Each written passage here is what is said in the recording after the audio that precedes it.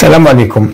في سياق التعزيز نتاع الشبكة اللوجستيكية للسكك الحديدية آه، بما يتماشى مع التوجيهات تاع الدولة في رفع قدرات التخزين ونقل الحبوب. إذا آه، مع البرنامج تاع إنشاء المخازن الحبوب في بعض ولايات الوطن إذا آه، تقرر آه، تعزيز شبكة السكك الحديدية حول هذه المخازن لتسهيل إذا آه، نقل الحبوب من وإلى هذه المخازن.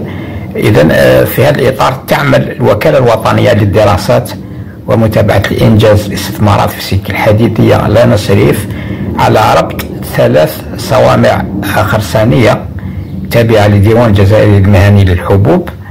إذا بالشبكة الوطنية هي السكك الحديدية وتتمثل هذه المخازن. آه، مخزن يقع واحد في خروب بولاية قسنطينة والثاني في بوش بوشكوف بولاية آه، قالمة والثالث في بازول في ولاية جيجل.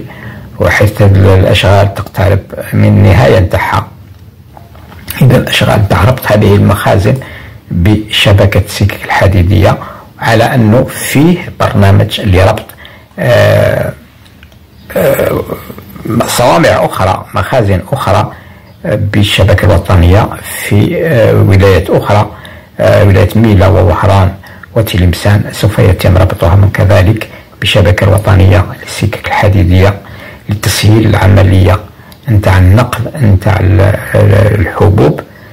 من وإلى هذه المخازن. اذا نخليكم في آه، رعاية الله وحفظه والسلام عليكم.